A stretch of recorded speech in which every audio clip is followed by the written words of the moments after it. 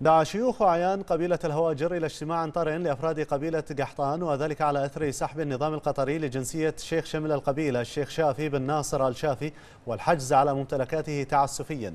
وجاءت دعوة الشيخ شافي بن سالم الشافي نيابة عن قبيلة بني هاجر لهذا الاجتماع في جوف قبيلته بني هاجر احتجاجا على ما يقوم به النظام في قطر من ممارسات خطرة بحق مواطنيه والقبائل العربية هناك.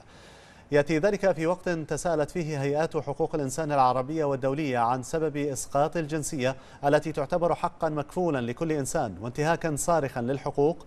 وجاء إسقاط قطر للجنسية بعد استنكار شيخ قبيلة بني هاجر.